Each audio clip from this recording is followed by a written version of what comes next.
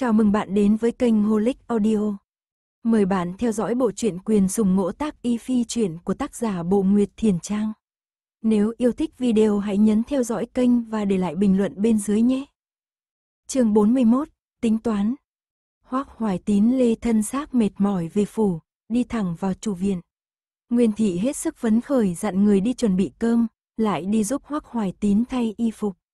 Lão gia mệt mỏi cả đêm sắc mặt cũng nghiêm trọng, cho dù là công vụ quan trọng cũng đừng liều mạng như vậy.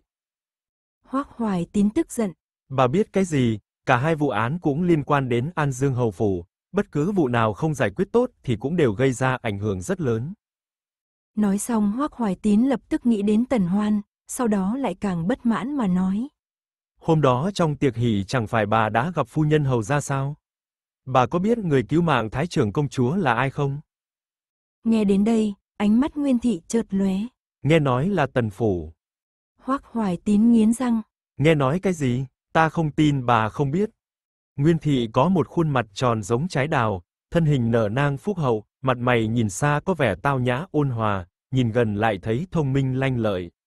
Nghe đến đây bà bất đắc dĩ nói, được rồi được rồi, chỉ là cửu cô nương tần phủ thôi sao, hôm đó tất cả mọi người đều bàn tán xôn xao về tần phủ, nói vị cửu cô nương kia chính là y tiên, nói thái trưởng công chúa chỉ triệu kiến một mình nó. Bà đã được nhìn tận mắt thấy cửu cô nương chưa? Nguyên thị bĩu môi, vẻ mặt kiêu căng. Nhìn thoáng từ xa. Hoác Hoài Tín thay y phục xong ngồi xuống ghế. Vậy bà cảm thấy như nào? Nguyên thị vừa rót trà vừa khinh bỉ. Cũng vậy thôi, ta đã nói với lão gia rồi, cửu cô nương này ái mộ con trai chúng ta từ lâu rồi, nhưng dựa vào nàng mà đòi làm con dâu nhà chi phủ chúng ta thì không có cửa đâu. Hoác Hoài Tín đập bốp một cái lên bàn. Nguyên Thị bị dọa cho nhảy dựng lên, lập tức thu lại vẻ khinh bỉ trên mặt, cẩn thận hỏi. Lão gia, làm sao vậy? Hoác Hoài Tín trợn mắt nhìn, ông sực nhớ đến lời Giang Thị dặn không được nói ra chuyện Tần Hoan biết nghiệm thi nên chỉ hừ nhẹ một tiếng. Đúng là đồ phụ nhân ngu xuẩn vô tri, chỉ tin vào mấy tin đồn vớ vẩn bên ngoài mà suýt nữa thì bỏ lỡ mối hôn sự tốt của nhi tử. Nguyên thị trừng mắt. Lão gia có ý gì? Đêm qua ta đến An Dương Hầu Phủ thì cửu cô nương Tần Phủ đã ở đó. Thái trưởng công chúa lại phát bệnh nên cửu cô nương được mời đến ở lại mấy ngày để trần trị. Ta thấy hầu gia và phu nhân cực kỳ tín nhiệm sủng ái cửu cô nương, càng đừng nói đến thái trưởng công chúa. Hoác Hoài Tín hừ một tiếng lại nói. Ta thấy tính tình và dung mạo cửu cô nương còn hơn nhiều so với quý nữ trong kinh, ở Cẩm Châu chắc chắn không tìm ra được người thứ hai. Ta thực sự không hiểu được tại sao qua miệng bà lại biến thành không tài không đức không diện mạo vậy hả? Nguyên thị ngây người. Lão gia nói, là thật sao? Hoác Hoài Tín lại vỗ bàn một cái. Là kẻ nào nói bậy nói bạ với bà? Nguyên thị siết chặt khăn tay. Nhưng, nhưng cho dù có sùng ái thì nó cũng không phải quận chúa của hầu phủ, phụ mẫu nó đều mất, thái độ của hầu phủ đối với nó thì ngài cũng biết rõ ràng, cho dù nó có thích con trai chúng ta, nhưng... Nhưng Ninh Nhi sau này phải cưới một nhà danh gia vọng tộc mới tốt. Có như vậy, không chỉ tốt lão gia mà còn có sự trợ giúp cho con đường làm quan của Ninh Nhi. Hoác Hoài Tín nghiến răng. Đúng là tầm nhìn hạn hẹp, cả nhà An Dương Hầu Phủ đều là người có đức có tín, cửu cô nương đã cứu mạng Thái trưởng công chúa nhiều lần nên bọn họ chắc chắn sẽ mang ơn. Đêm qua ta thấy phu nhân hầu gia đã coi cửu cô nương như một nửa nữ nhi ruột thịt của mình rồi, sau này thì càng không cần phải nói. Mà cửu cô nương bất kể hoàn cảnh gì thì cũng xuất thân từ Trung Dũng Hầu Phủ, lại là con vợ cả, hiện giờ trong triều Trung Dũng Hầu cũng đang nắm quyền với thanh danh rất tốt chuộng người tài đức hiền minh. Cũng chính vì đã mang danh này nên hắn nhất định sẽ không bỏ mặc cửu cô nương. Hoác Hoài Tín lại trao mày. Nếu không tính đến những điểm này, chỉ dựa tài năng và tính cách của cửu cô nương thôi cũng dư sức phối với Ninh Nhi rồi. Nguyên thị muốn nói lại thôi, đang định nói tiếp thì có một nha hoàn chạy vào bẩm báo. Lão gia, phu nhân, thiếu gia đến rồi. Hai phu thê liếc nhau, Hoắc Hoài Tín nói. Bảo thiếu gia vào đây. Mảnh được vén lên, Hàn Nguyệt mặc hoa bào màu xanh nhạt bước vào. Phụ thân, nghe nói chuyện của nhị công tử đã giải quyết xong rồi. Hoắc Hoài Tín nghiêm mặt.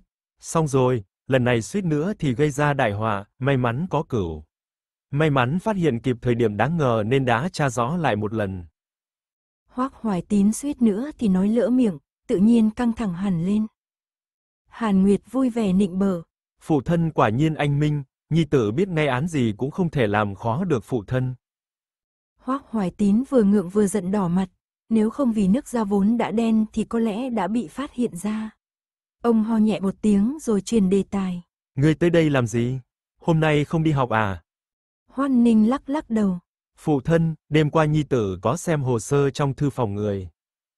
Hoác Hoài Tín nhớn mày, trợn mắt về phía Hoác Ninh. Ngươi nói án tử của tiểu thư Tống gia?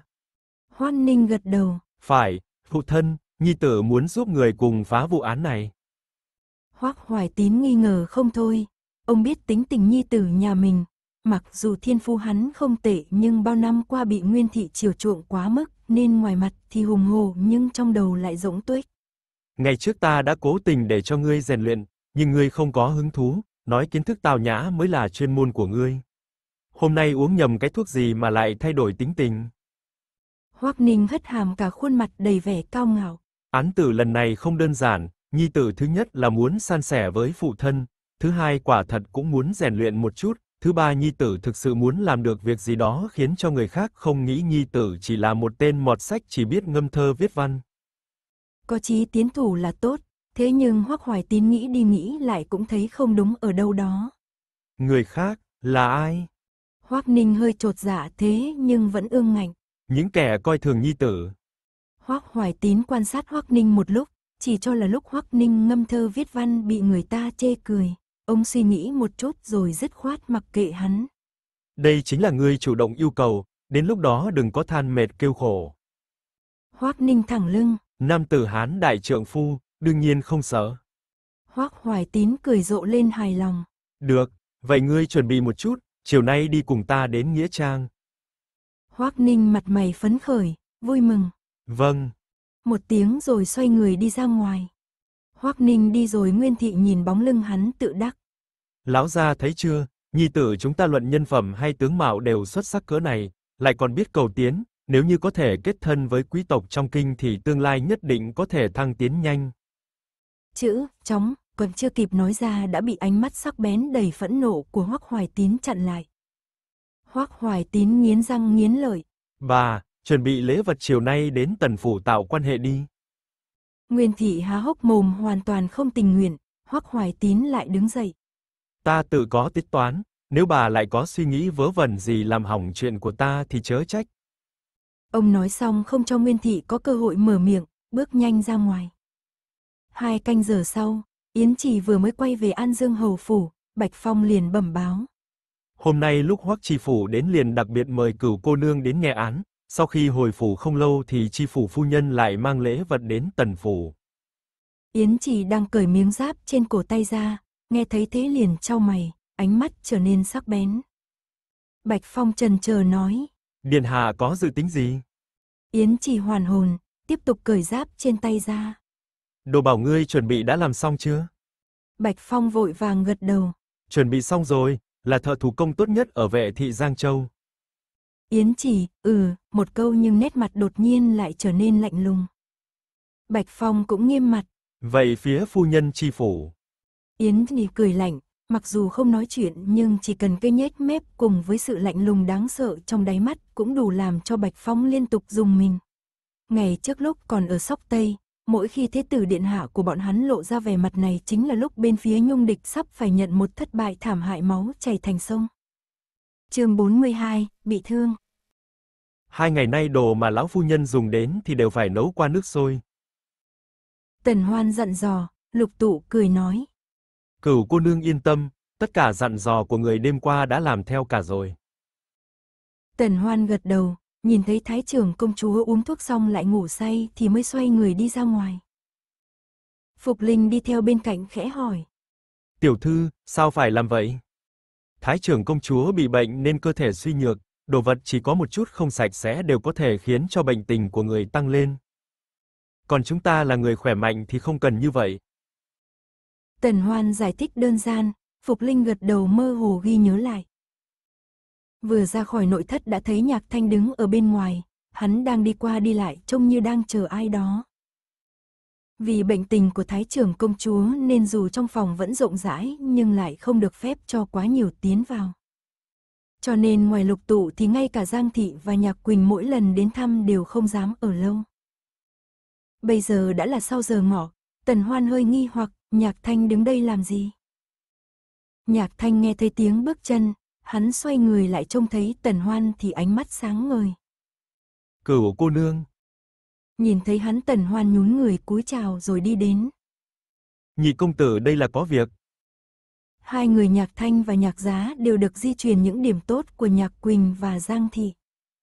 Nếu như Nhạc Quỳnh thân hình cao thẳng khí vũ hiên ngang thì Nhạc Thanh lại có thêm chút tuấn tú cao ngạo.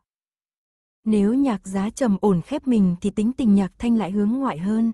Hắn có đôi mắt sáng ngời, tuy trẻ tuổi nhưng khí chất rất chững chạc đoan chính. Thế nhưng khi đứng đối diện với Tần Hoan, Nhạc Thanh lại có vẻ không được tự nhiên, hắn ho nhẹ một tiếng mới nói. Cửu cô nương, vốn là buổi sáng đã muốn tự mình đến nói cảm tạ nàng, thế nhưng chi phủ đại nhân vừa đi thì ta đã phải qua nhà Lâm Đại Hưng nên tận bây giờ mới đến. Vừa nói chuyện, Nhạc Thanh vừa lui về sau một bước, cúi người thật sâu hành lễ với Tần Hoan. Nhạc Thanh đa tạ cửu cô nương ra tay trượng nghĩa, vì Nhạc Thanh tẩy rửa oan khuất. Đại ân này xin cô nương nhận một bái của Nhạc Thanh. Tần Hoan vội vàng nghiêng người tránh né. Nhị công tử, mau đứng lên, phu nhân đã cảm tạ nhiều lần rồi, công tử lại như vậy nữa sẽ khiến cho Tần Hoan sợ hãi. Nhạc Thanh ngẩn người, hắn ngẩng đầu lên nhìn Tần Hoan, thấy sắc mặt Tần Hoan không giống với giả vờ nên mới đứng thẳng dậy, xấu hổ cười cười. Vậy vậy để cảm tạ cô nương, Nhạc Thanh đặc biệt. Bái kiến thế tử điện hạ. Nhạc Thanh nói còn chưa hết câu thì ở phía xa đã có tiếng nói. Nhạc Thanh quay đầu nhìn lại đã thấy Yến trì đang đi nhanh đến đây. Hôm nay Yến trì mặc trường bào màu đen, tay áo hẹp thêu hoa văn kỳ lân vàng, bờ vai rộng rãi vòng eo rắn chắc, giơ tay nhấc chân di chuyển đều mang theo gió cuốn mạnh mẽ, người còn chưa đến mà khí thế đã áp bức người ta. Tần Hoan vội cúi người hành lễ, Nhạc Thanh cũng ôm quyền. Yến Chỉ phất tay, liếc sang Tần Hoan một cái rồi nhìn về phía Nhạc Thanh.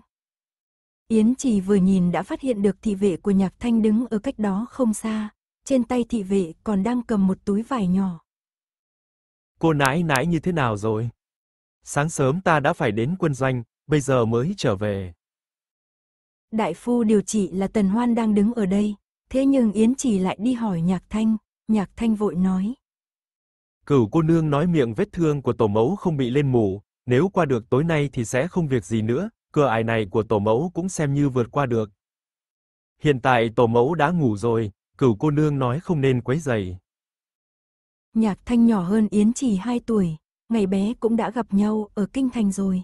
Có điều lúc đó Nhạc Thanh vẫn còn quá nhỏ nên hiện tại cũng không còn nhớ nữa.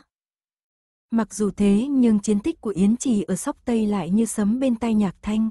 Hắn biết dù có cho hắn thêm 5 năm nữa thì hắn cũng không thể lợi hại được như Yến Trì. Bởi vậy khi hắn nhìn Yến Trì, trong mắt ngoài tình cảm thân thiết thì còn có sự ngưỡng mộ và cực kỳ kính trọng. Vậy thì tốt. Mặt mày Yến Trì khẽ buông lòng. Nếu không thể quấy giày thì ta đi tìm hầu ra bàn bạc về sóc Tây Quân. Đáy mắt nhạc thanh lập tức sáng lên. Sóc Tây Quân xảy ra chuyện. Sóc Tây Quân có 10 vạn người, do Duệ Thân Vương Yến lẫm trưởng quản, là đội quân toàn thắng chiến tích vang dội. Toàn bộ biên cảnh phía Tây nhờ có Sóc Tây Quân chấn thủ nên Nhung địch mới không thể phạm một tấc nào vào lãnh thổ của Đại Chu. Yến Chỉ cũng đã lãnh binh trong Sóc Tây Quân từ sớm, lần này có mấy trăm binh mã đến đây theo Yến Chỉ cũng chính là thân vệ của Yến Chỉ trong Sóc Tây Quân. Yến Chỉ cong môi, Chút chuyện nhỏ thôi, nếu như ngươi muốn nghe thì có thể cùng đến. Yến chỉ nói xong liền đi, nhạc thanh lập tức luống cuống, một bên là sóc Tây quân luôn khiến hắn khao khát, một bên là tần hoan, hắn còn muốn tự mình tặng đồ cho nàng, nhất thời thấy khó cả đôi đường. Yến chỉ đi được hai bước thì ngừng lại, quay đầu nhìn nhạc thanh, làm như đang đợi hắn. Như vậy đương nhiên nhạc thanh phải nể mặt Yến trì, nghĩ rồi nghĩ, thôi để chiều tối rồi tìm cơ hội khác vậy. Cửu cô nương, ta đi trước sang chỗ phụ thân, tổ mẫu ở đây phải làm phiền nàng rồi. Tần Hoan gật đầu, chỉnh đốn trang phục hành lễ, còn Nhạc Thanh chạy vội đi theo Yến Trì. Yến Trì từ phía xa nhìn lướt qua dáng vẻ Tần Hoan đang cúi đầu hành lễ, chớp chớp mắt sau đó mới quay người đi. Yến Trì vừa đi, bên này Phục Linh thở phào một hơi. Tiểu thư, khí thế của thế tử điện hạ này đúng là áp bức người, có điều vừa rồi vì sao ngài ấy lại không nói gì với tiểu thư? Cứ như không nhìn thấy tiểu thư vậy. Giọng Phục Linh càng lúc càng nhỏ, đương nhiên là vẫn sợ Yến Trì, Tần Hoan cũng không quá để ý. Hắn vốn là thế tử của thân vương, có thái độ kiêu ngạo chút cũng không có gì lạ, không sao cả. Tuy nói như vậy nhưng Tần Hoan lại nghĩ đến ánh mắt của hắn đêm qua. Trong lòng nàng cảm thấy hơi kỳ quái nên lắc lắc đầu quẳng ý nghĩ này đi. Nàng và hắn là hai người sau này hoàn toàn không có khả năng sẽ gặp lại nữa nên không cần phải nghĩ nhiều nữa. Tần Hoan xoay người, lúc cử động lại vô tình đụng đến túi trong tay áo. Tay áo nàng hơi nặng, nhất thời khiến cho nàng nhíu mày. Hàn Nguyệt của hắn còn đang ở trong tay nàng. Tiểu thư, làm sao vậy? Phục Linh vừa hỏi, Tần Hoan lắc lắc đầu.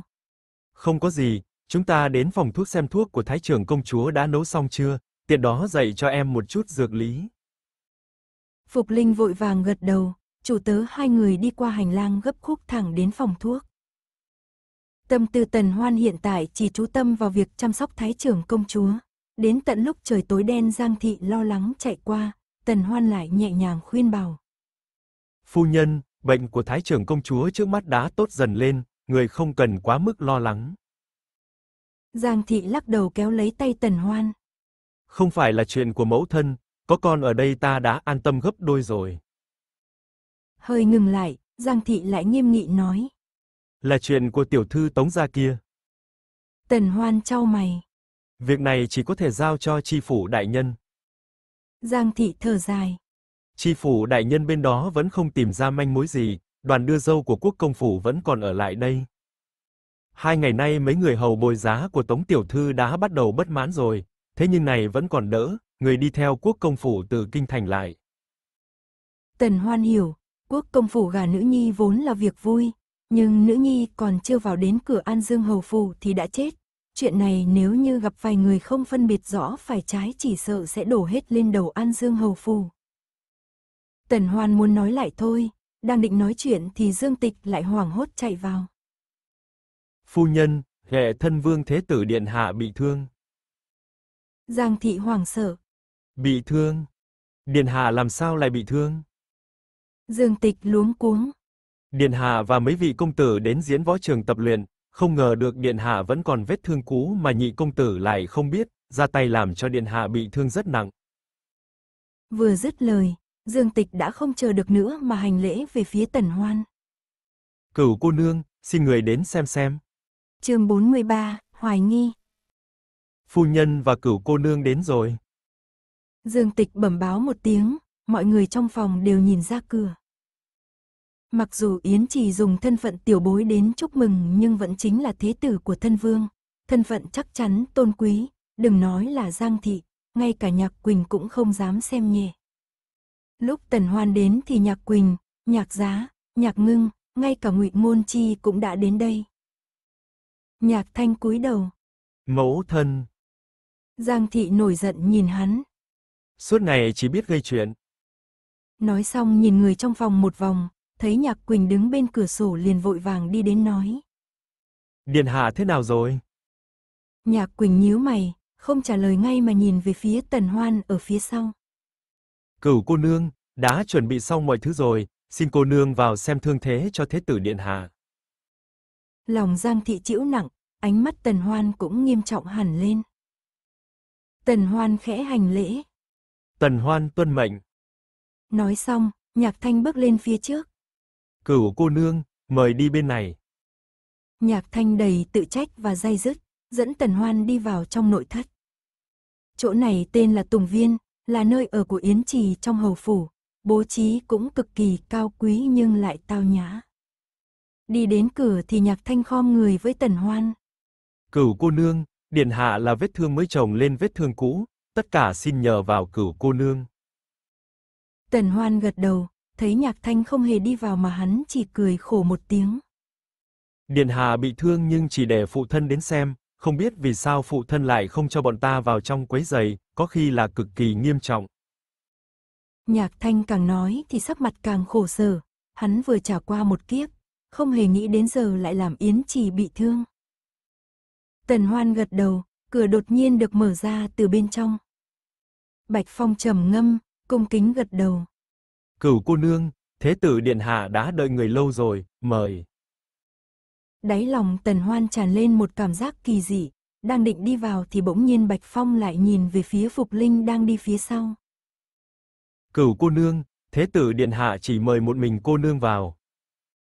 Tần Hoan đang định nhân cơ hội này dạy Phục Linh y thuật, sau này hành y cũng phải dẫn theo Phục Linh, thế nhưng không nghĩ đến Bạch Phong lại ngăn Phục Linh lại.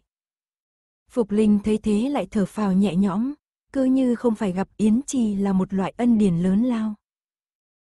Tần Hoan liếc mắt chấn an Phục Linh rồi đi vào trong. Tần Hoan mới đi được một bước Bạch Phong đã đóng cửa lại. Tần Hoan thoáng suy nghĩ sâu sắc, đi vòng qua sáu bức bình phong sơn thủy vào trong phòng, mới đi được vài bước nàng đã trao mày lại. Trong phòng tràn ngập mùi máu tươi. Đi qua bình phong Tần Hoan liền nhìn thấy được người đang ngồi trên giường ở tít phía trong, dựa cả người vào tường. Yến Trì vẫn mặc nguyên áo ngoài ngồi dựa ở đầu giường, nghe thấy tiếng bước chân liền nhìn qua, sắc mặt hắn rất nặng nề, ánh mắt u ám, cánh tay hắn mạnh mẽ gác lên chân, khiến cho người khác có một loại cảm giác chớ có lại gần. Nếu như không phải vì người thấy mùi máu quá nặng thì Tần Hoan có lẽ vẫn nghĩ hắn không hề bị thương. Tần Hoan bước đến rất nhanh, chỉ chớp mắt đã đến bên cạnh giường, nàng quan sát hắn rồi nói. Xin thế tử xoay người lại. Yến chỉ nhớn mày. Quả nhiên cửu cô nương rất thông minh lương thiện. Ánh mắt Tần Hoan lướt qua miệng vết thương trên vai hắn. Ngoại thương trên vai điện hạ mặc dù có chảy máu nhưng lại là vết thương nhẹ, chắc là vết thương do nhị công tử gây ra. Thế nhưng trong phòng này đầy mùi máu tươi, điện hạ nhất định còn vết thương ở chỗ khác, vạt áo trước hay trên đùi điện hạ đều không có vết máu, mà hiện tại điện hạ đang dùng lực của eo để dựa vào giường, cho nên chắc hẳn là trọng thương ở lưng. Yến trì bật cười, hắn ngồi thẳng người lại, mười đầu ngón tay thon dài nhanh nhẹn cởi áo ra. Bạch Phong canh giữ ở ngoài cửa nên hiện tại bên cạnh giường chỉ có hai người Yến Trì và Tần Hoan, trong phòng yên lặng có thể nghe được tiếng kim rơi, chỉ còn lại tiếng Yến Trì sột soạt cởi y phục. Hắn là một nam tử trưởng thành quanh năm chinh chiến xa trường, cởi y phục ở trước mặt Tần Hoan cực kỳ tự nhiên không chút ngại ngùng nào. Thế nhưng Tần Hoan lại không như vậy, nàng là một tiểu cô nương, chỉ sợ còn chưa nhìn thấy thân thể của nam nhân. Điện hạ động tác không tiện, để đó cho ta. Động tác trên tay Yến Trì chợt ngừng lại, lông mày khẽ run rẩy. Tần Hoan khẽ sắn tay áo, nghiêng người nắm lấy vạt áo hắn. Đáy mắt Yến Trì mơ hồ hiện lên ý cười, hắn dứt khoát xoay người lại để lộ ra cả mảng lưng đã ướt sũng máu. Hắn vẫn mặc bộ trường bào cao quý màu đen thêu kỳ lân vàng sầm lúc chưa, hiện tại lại thấm đẫm máu dính chặt vào lưng, người đến gần có lẽ sẽ bị mùi máu nồng nặc làm cho bị sặc. Tần Hoan cẩn thận nhưng nhanh nhẹn cởi áo bảo hắn xuống. Vừa trông thấy vết thương, ngay cả Tần Hoan cũng không nhịn được mà hít vào một hơi khí lạnh. Yến chỉ quay lưng về phía Tần Hoan, nghe thấy động tĩnh của nàng thì ánh mắt hơi tối xuống. Ngươi thấy được cái gì thì cứ nói ra, không cần giấu giếm. Giọng nói Yến Trì rất bình tĩnh thoải mái, ánh mắt Tần Hoan lại nặng nề. Trầm ngâm một lát Tần Hoan mới mở miệng. Trên người điện hạ có hai vết thương, một ở vai trái, miệng vết thương khoảng một tấc, thành vết thương phẳng, trên nông dưới sâu, là vết thương của kiếm, hiện tại vết máu còn chưa khô nên đây là vết thương mới. Một vết thương nữa ở phía sau lưng, vết thương kéo dài từ xương bả vai bên trái đến lưng bên phải, miệng vết thương dài khoảng 5 tấc, có một phần đá bắt đầu lành lại nhưng đá nứt ra nhiều lần, có vết máu nâu đỏ, chỗ đá lên vẩy lại sưng đỏ và mưng mủ. Vết thương nông ở hai đầu, còn phần ở giữa bị nứt ra rộng nhất và sâu nhất, có lẽ là vết thương do đau từ nửa tháng trước.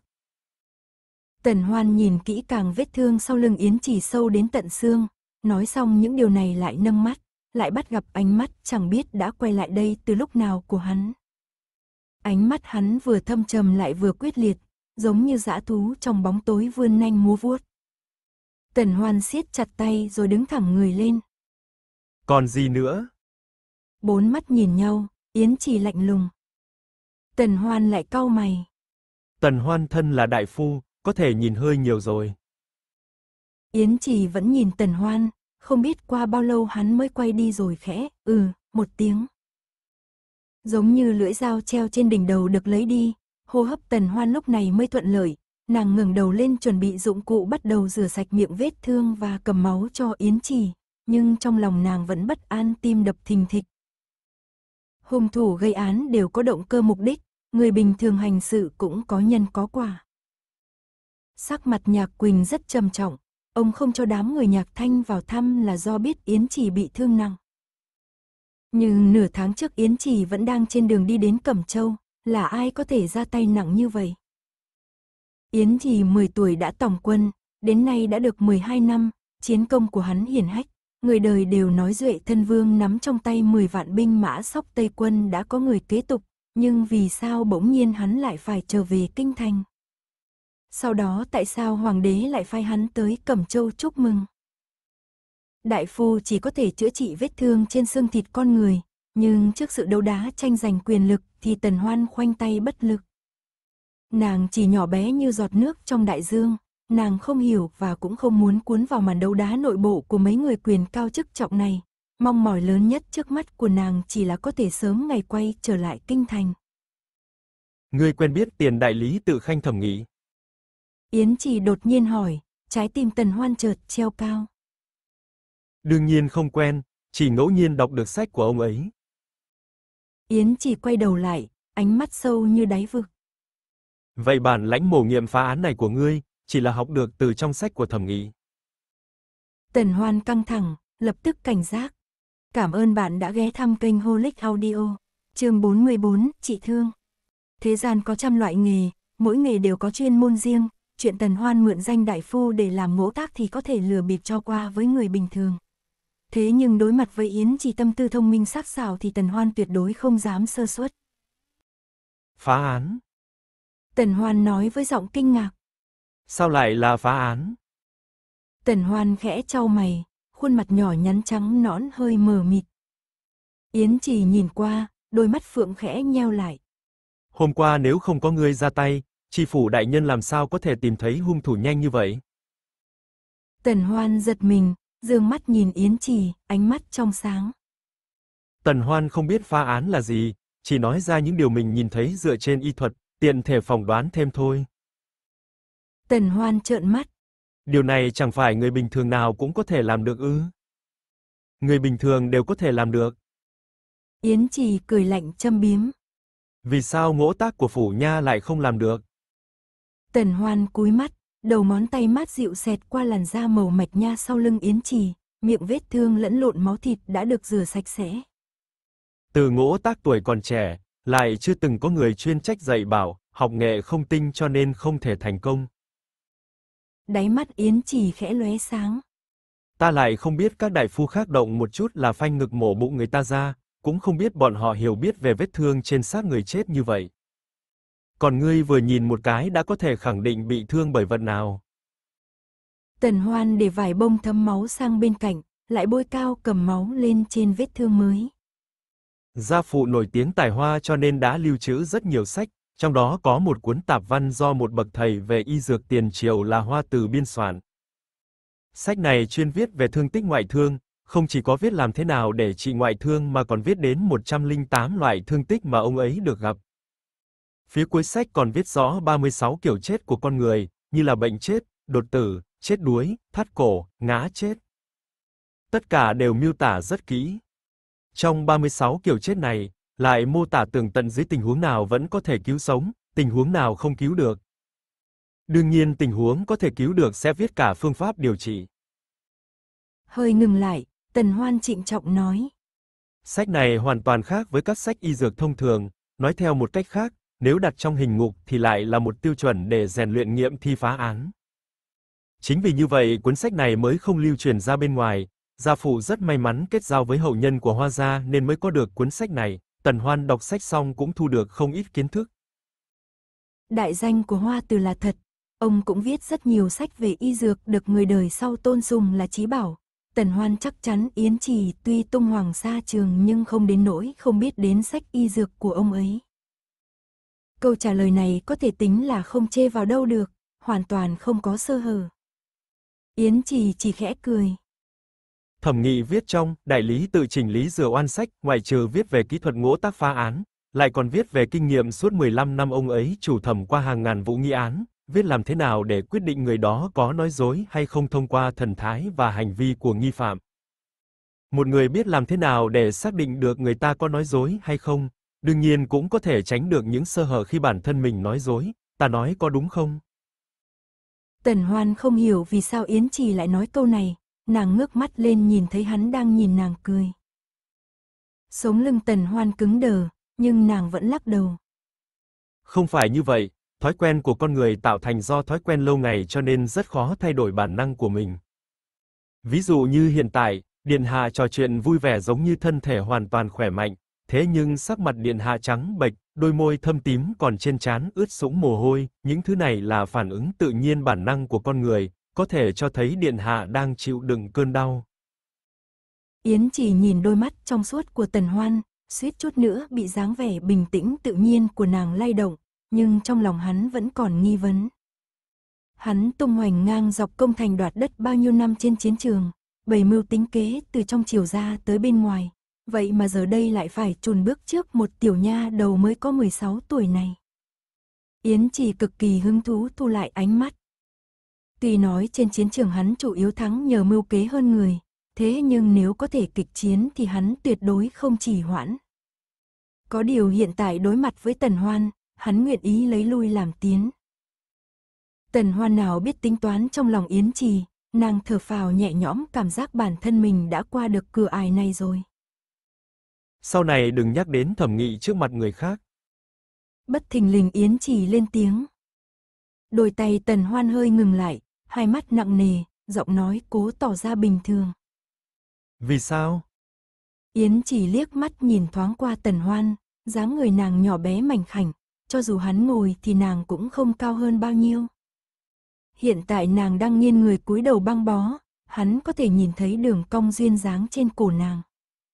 Yến chỉ hơi trầm ngâm rồi lại nói ra những lời đáng lẽ không nên nói. Thẩm nghị bị cuốn vào một vụ án lớn trong kinh thành, hiện giờ đã trở thành kẻ tội thần và đã đền tội rồi. Trong lòng tần hoan đau xót, cổ họng nghẹn ngào nhưng giọng nói lại vẫn nghi hoặc mông lung.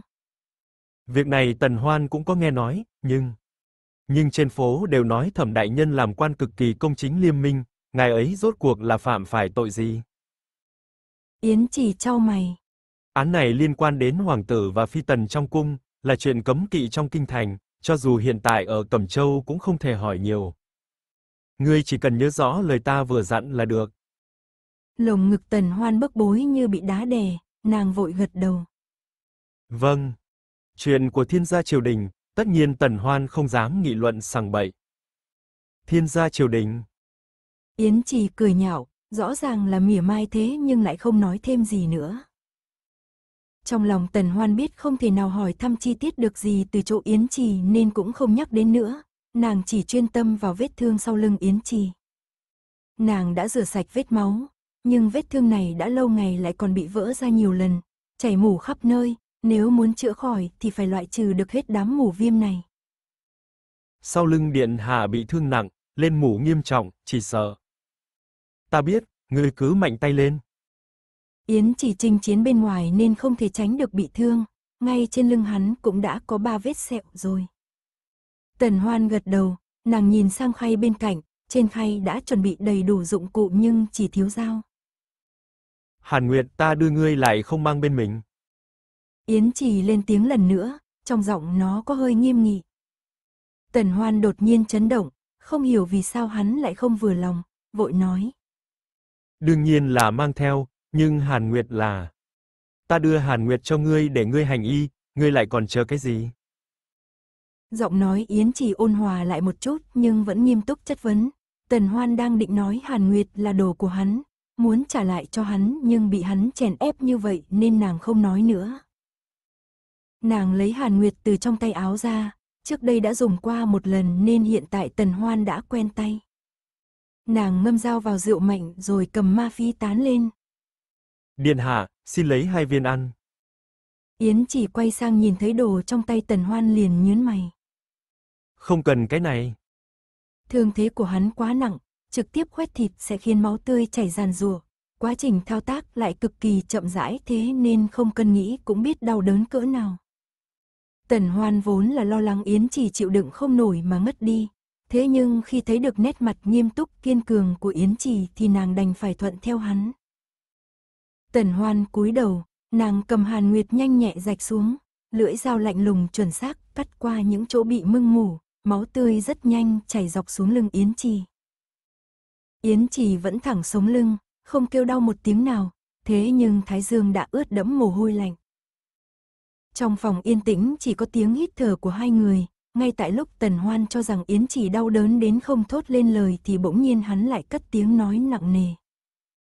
Sóc Tây thời tiết lạnh lẽo trải dài ngàn dặm, lúc có chiến sự thì thường xuyên phải ra khỏi doanh trại mấy tháng, hành quân đường dài lại phải tập kích bất ngờ nên dược liệu rất thiếu thốn. Nếu như hàng ngày quen dùng ma phi tán thì đến lúc bị thương sẽ không nhịn được, ta bị thương khắp người nhưng chưa bao giờ dùng đến thuốc này. Tần Hoan nghe được thì lông mi run rẩy, trong lòng bỗng nhiên sôi sục. Nàng chưa bao giờ đi qua chiến trường nơi biên ải, cũng không biết khói lửa chiến tranh là như thế nào, thế nhưng chỉ nghe vậy thôi cũng đủ biết sóc Tây khó khăn thiếu thốn cỡ nào. Yến thì năm nay mới có 22 tuổi, vương tôn công tử như hắn đa phần đều coi mình quý báu hơn vàng ngọc không thể rời xa được phồn hoa phú quý trốn kinh thành, chỉ có mình hắn nguyện ở sóc Tây quân chinh chiến tận 12 năm. Người ta thường nói thân thể, da, tóc chịu ơn phụ mẫu nên không được để tổn hại. Yến chỉ tuổi còn trẻ, thân hình rắn chắc nhưng thương thế chồng chồng chất chất bi thảm không nỡ nhìn. Nếu như mẫu thân hắn thấy những vết thương này thì không biết sẽ đau lòng đến nhường nào. Tần hoan nghiến răng nghiến lợi, ép bản thân phải xua tan đi nỗi đau khi nhắc đến án tử của phụ thân. Ánh mắt nàng tập trung lại, đôi tay cũng linh hoạt hơn, nàng nín thở di chuyển ngón tay nhanh hơn nữa. Mặc dù là vậy nhưng đến lúc nàng khuét bỏ được hoàn toàn chỗ lên mủ thì mồ hôi trên trên yến chỉ đã chảy thành từng dòng. Tần hoan cực kỳ nhanh nhẹn bôi cao cầm máu lên, nhìn thấy yến chỉ siết chặt quả đấm, ánh mắt nàng cũng tối sầm lại. Vết thương này của điện hạ rất nặng, trong vòng một tháng không thể dính nước, cũng không được động võ. Nếu như miệng vết thương lại vỡ ra lần nữa thì nhưng đau đớn hôm nay chịu đựng chắc chắn sẽ phải chịu thêm lần nữa, mà vết thương này đã sâu đến tận xương rồi, nếu như lại bị lên mù nữa thì rất dễ tổn thương đến tạng phủ.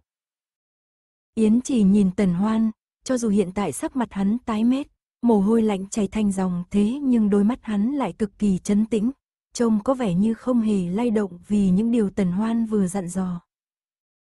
Tần Hoan nhíu mày, trong lòng nàng biết có vẻ như Yến Trì đã bị thương quen rồi nên hắn mới chủ quan không coi như vậy. Tần Hoan ngay lập tức nghiêm giọng. Điện hạ nếu để thương thế trở thành bệnh mãn tính rồi thì có lẽ sẽ không lên chiến trường được nữa.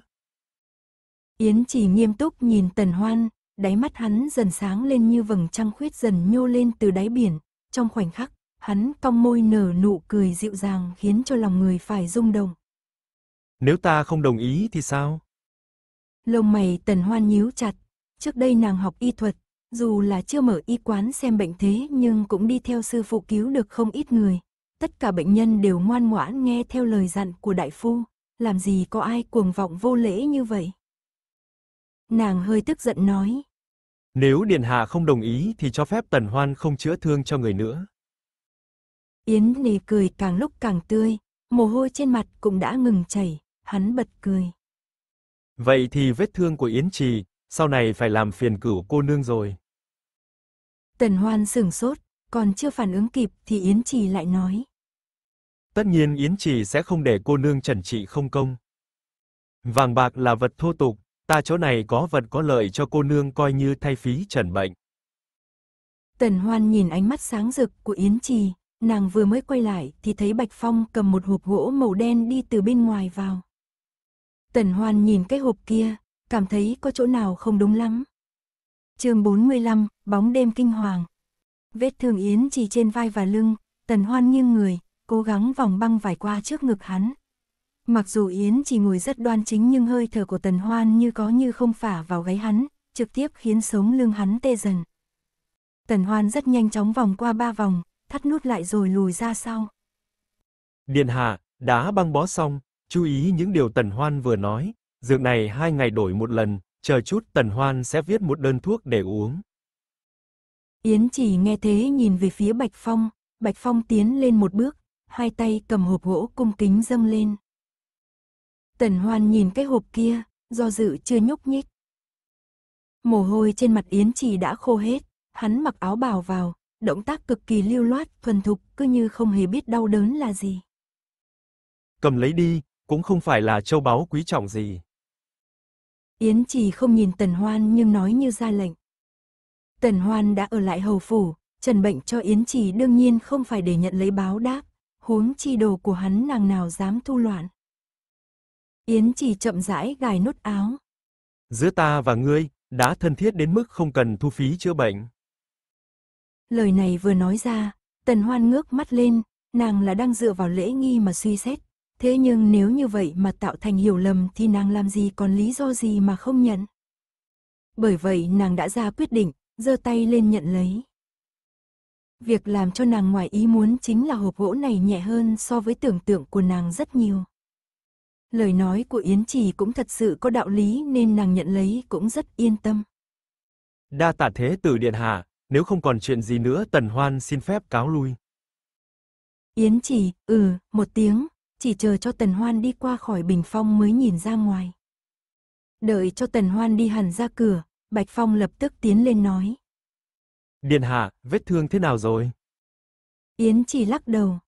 Không đáng ngại, nàng xử lý thỏa đáng hơn so với đại phu trong quân nhiều. Bạch Phong mím môi không lên tiếng, xem ra vị tiểu y tiên này quả đúng thật danh bất hư truyền. Dừng lại một chút, bỗng nhiên Yến chỉ trầm giọng nói. Đi tìm toàn bộ sách mà Hoa Từ truyền lại đến đây, xem xem có cuốn sách mà cửu cô nương nói kia hay không. Thần sắc Bạch Phong chợt nghiêm trang, vội vàng đáp lời rồi rời đi. Lúc Tần Hoan đi ra trời đã không còn sớm, Nhạc Thanh đứng ở đầu tiên vội đi lên đón tiếp nàng. Cửu cô nương, thế nào rồi? Sao lại lâu như vậy? Sắc mặt Tần Hoan khẽ buông lòng, lại nhìn về đám người Nhạc Quỳnh. Nhị công tử yên tâm, hầu gia và phu nhân xin cũng yên tâm, vết thương cũ của điện hạ có chút phiền phức nên mới lâu như vậy, trước mắt đều đã xử lý xong rồi. Nhạc Thanh thở phào nhẹ nhõm, sau đó lại khổ tâm nói. May mắn, may mắn quá, nếu không ta lại gây ra chuyện nữa. Giang Thị tức giận. Xem sau này ngươi còn không biết nặng nhẹ không? Nhạc Thanh ủ rũ.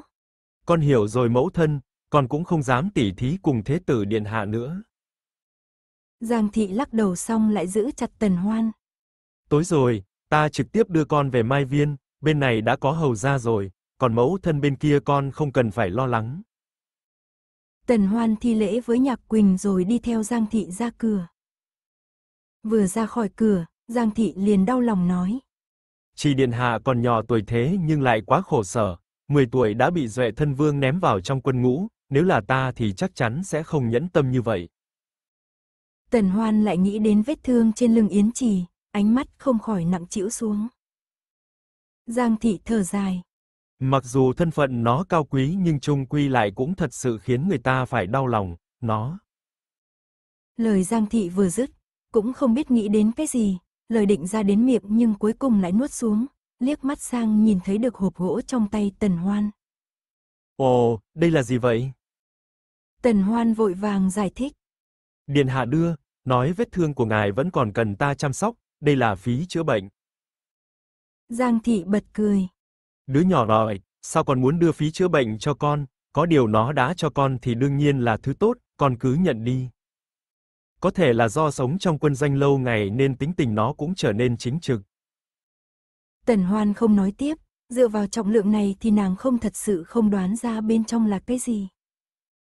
Đi không lâu đã đến phía bên ngoài Mai Viên, Giang Thị lại nói. Tối nay con hãy nghỉ ngơi thật tốt, vốn định để con lưu lại hai ngày thế nhưng bệnh tình mẫu thân như vậy, nếu như ngày mai vẫn còn chưa tỉnh thì chỉ sợ lại phiền con ở lại đây thêm mấy ngày nữa. Chị bệnh cứu người đương nhiên phải làm đến nơi đến chốn, Tần Hoan gật đầu. Tần Hoan hiểu rõ, hiển nhiên lấy sức khỏe thái trưởng công chúa làm trọng. Giang thị cười vui mừng, nói thêm vài câu nữa rồi mới đi sang viện của thái trưởng công chúa. Giang thị vừa đi, Phục Linh nhìn hộp gỗ trong tay Tần Hoan nói. Tiểu thư, là thế tử điện hạ cho à? Cái gì thế? Tần Hoan cúi mắt nhìn xuống rồi đi nhanh vào mai viên, đến lúc vào đến noãn các bên trong mới ngồi xuống mở hộp ra, nàng cũng rất tò mò bên trong hộp này là cái gì. Hộp vừa mở ra, Tần Hoan liền sừng sốt. Phục Linh rót một chén trà cho Tần Hoan, quay đầu sang nhìn thấy cũng kinh ngạc. Đây là cái gì? Trong hộp gỗ to khoảng ba tấc vuông có đặt hai vật. Đập vào mắt đầu tiên là một túi vải tối màu, Tần Hoan tưởng rằng đó là một cái khăn tay, thế nhưng lấy ra rồi mới phát hiện đó là một đôi bao tay cực kỳ mềm mại được gập lại rất khéo léo. Phục Linh, a, một tiếng. Đây là dùng để bảo vệ tay. Đôi bao tay này được khâu lại bằng da hươu đã được mài rất mỏng, chỗ ghép của năm ngón tay cơ hồ không nhìn thấy đường chỉ khâu. Tần Hoan lấy ra đeo lên, ngón tay nàng co vào rồi lại duỗi ra, cảm xúc trên tay rất ấm áp và chân thực khiến cho lòng nàng cũng vui vẻ tan chảy. Nàng tưởng rằng đêm đó Yến Trì chỉ là tùy tiện hỏi một câu thôi, không ngờ hắn lại chuẩn bị được cả vật này.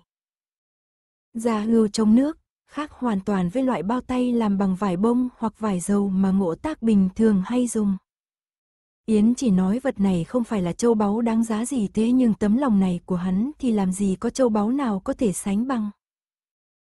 Tần Hoan vẫn còn ngơ ngẩn cả người, nàng cụp mắt nhìn vào vật còn lại bên trong hộp. Đó là một túi hương rất cầu kỳ tinh xảo do một thợ thủ công lành nghề làm ra, nói là túi hương nhưng cũng dùng loại da hươu thượng hạng chế tạo thành. Tần Hoan cởi bao tay ra cầm lấy túi hương, nàng hơi run rẩy, bên trong lại rơi ra một cuộn vải nhỏ. Tần Hoan nhíu mày, mở rộng cuộn vải kia ra, ngay lập tức hốc mắt Tần Hoan đột nhiên co rút lại. Tiểu thư, đây lại là cái gì? 1, 2, 3, 49, đây là dao hay là châm? Hơi thở Tần Hoan khẽ run, một ánh sáng rực rỡ hiện ra từ trong mắt đôi mắt trong veo như suối của nàng. Cuộn vải màu xanh nhạt chính là một cái túi châm, bên trong túi có 9 cây châm hình dáng giống dao cắm ngay ngắn chỉnh tề, mỗi cây châm đều dùng sắt thượng phẩm tôi luyện ra, mặc dù hình dạng kỳ quái thế nhưng trong mắt Tần Hoan, 9 cây châm này có thể so sánh với châu báu cực phẩm khiến cho lòng nàng dậy sóng. Người học y nhất định phải học thi châm, bên trong cuốn sách từ thượng cổ, nội kinh, có một chương là châm kinh, chuyên nói về phương pháp châm cứu và sự kỳ diệu của các huyệt đạo, ngoài ra còn miêu tả về 9 loại kim châm. Muốn làm ra việc kỳ diệu, trước tiên cần phải có dụng cụ đặc biệt. Có bột mới gột nên hồ, hành y chữa bệnh cũng thế. Châm kinh, có nói 9 loại châm này tên là tố vấn cửu châm, bao gồm sàm châm, viên châm, đề châm, phong châm, phi châm, viên lợi châm, hào châm, trường châm, đại châm. Có 9 châm này thì có thể chữa được bách bệnh thế gian. Nhưng mà từ trăm năm trước, nội kinh đã bị thất truyền, tố vấn cửu châm cũng trở thành truyền ngôn, ngay cả dược vương Tôn Hy cũng chỉ có 7 cây, mà 7 cây này giờ cũng trở thành bảo vật chấn phái của dược vương Cốc rồi. Sư phụ của Tần Hoan là Dược Vương Tôn Hy, được xem như kiến thức uyên bác về y đảo, nhưng nàng cũng chưa bao giờ được nhìn thấy toàn bộ tố vấn cửu châm, hiện giờ Yến Trì lại cứ nhẹ nhàng bâng quơ tặng cho nàng. Đây có còn là phí chữa trị đơn thuần mà nàng có thể yên tâm thu nhận nữa không? Tần Hoan cầm, tố vấn cửu châm, trong lòng cảm xúc lúc lên lúc xuống, nàng nhìn lại thì thấy trên đuôi của chín cây châm đều có một phần hơi khác thường. Nàng dơ lên sát mắt mới nhìn rõ ra trên mỗi đuôi châm đều khắc một chữ, hoan. Tần hoan ngẩn ngơ sửng sốt, nơi nào đó trong lòng nàng phảng phất như bị chữ nhỏ này đập vào, khiến cho nàng tê tê dại dại. Yến chỉ đây là có ý gì? Nếu thật sự chỉ là phí chữa bệnh, hà tất phải hao phí tâm tư như vậy? Nhưng nếu không phải phí chữa bệnh, thì là vì cái gì? Ánh nến trong phòng chớp tắt phản chiếu lên khuôn mặt trần ngâm của nàng. Phục Linh thấy sắc mặt nàng như thế liền không dám hỏi nhiều, chỉ yên lặng đứng chờ ở bên cạnh. Trong lòng Phục Linh cũng hết sức kinh ngạc, Mặc dù nàng chỉ bước đầu tiếp xúc với y thuật thế nhưng nghe thấy lời Tần Hoan vừa nói thì cũng biết tố vấn cửu châm này quý báu đến mức nào. Hai chủ tớ im lặng không nói gì, trong phòng yên tĩnh đến mức chỉ còn nghe thấy tiếp nổ lép bếp của ánh đèn. Giây lát sau Tần Hoan cất túi châm đi rồi đứng dậy. Vật này quá mức quý trọng, phải mang đi trả lại. Phục Linh muốn nói lại thôi, Tần Hoan đã cầm áo choàng lên, ngay tại lúc nàng sắp bước ra cửa thì nghe thấy một tiếng hét chói tai vang lên. Tần Hoan nhăn mày quay lại đã thấy Phục Linh ngã nhào xuống đất, sắc mặt tái mét nhìn về phía cửa sau. Tần Hoan chăm chú nhìn sang, cửa sau chỉ đóng một nửa, bên ngoài là bóng đêm tối đen như mực, không biết từ lúc nào lại có một nữ nhân mặc giá y đỏ tươi đang đứng đó. Mà điều khiến cho Phục Linh hét chói tai chính là nữ nhân kia hoàn toàn không có đầu, giống y hệt với Tống Nhu đã chết. Phần này đến đây là hết. Mời các bạn theo dõi tiếp các video khác trên kênh. Nếu các bạn yêu thích kênh, hãy nhấn theo dõi nhé. Cảm ơn các bạn.